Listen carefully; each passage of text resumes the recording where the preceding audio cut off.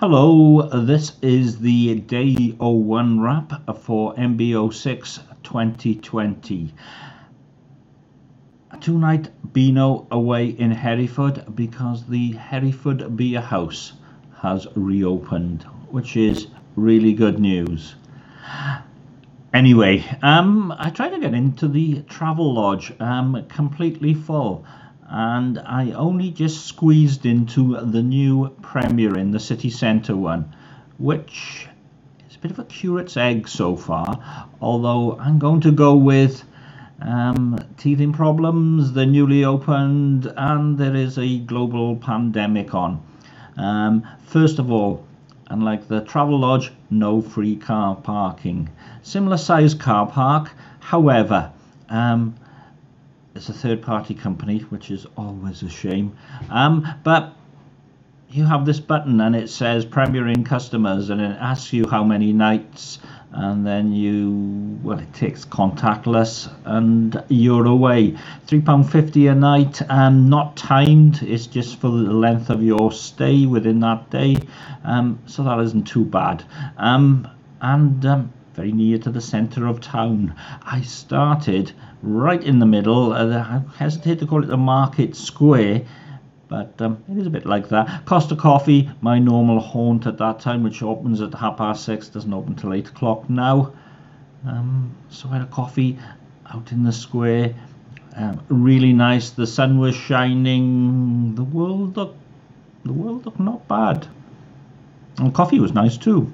Um, spoons, spoons was very sensible. Spoons was, and Gaza will hate me for this, 1.99 a pint, um, which you could get brought to your table. Unfortunately, you couldn't have like anything you want at any time. It was breakfast till 11.30, so I did have a big breakfast and I enjoyed it. I did try going out the back, which they have a very nice beer garden, half of which is non-smoking. Unfortunately, let down by three. Three went back to 3G um, and the Wi-Fi, the Wi-Fi just started to trip out, and I wanted to do a lot of uploading because that's the sort of thing I do when I'm on a Beano. However, it was okay.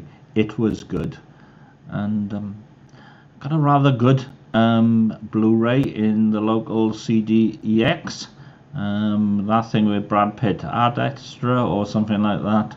Um, I've seen mixed reviews.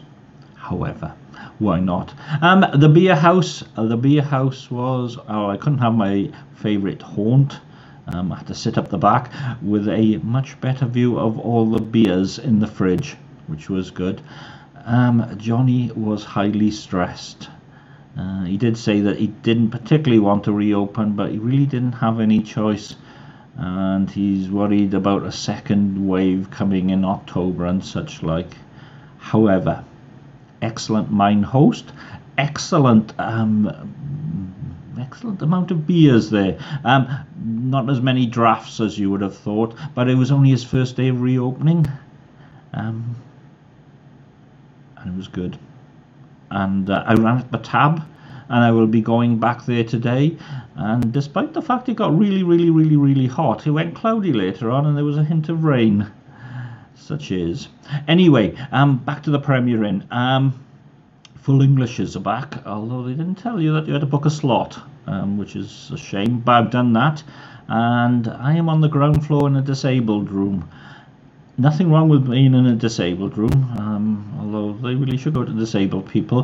However, it was a struggle to get booked in here anyway. Um, the only thing is, no DAB reception and no VHF reception, probably because the building's steel or whatever. Um, I'd really like to be on the top floor because that's the sort of thing I do. Anyway, um, as with the day one, day two will be similar but not quite as warm. I'm having a good time. I'm enjoying myself. I'm staying safe. Um, and it's great. Anyway, uh, I wonder how many decades this will take to upload. Bye bye.